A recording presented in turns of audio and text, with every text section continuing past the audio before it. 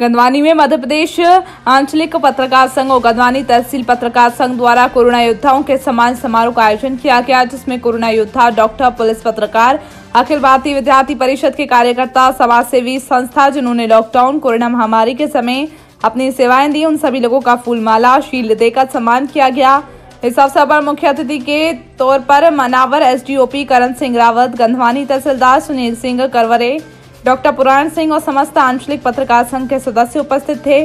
वहीं मंच का संचालन राकेश जी मोटसरा ने किया। साथ ही कार्यक्रम का समापन भोजन ग्रहण कर किया गया। गंधवानी से संवाददाता महेश सिसोदिया की रिपोर्ट।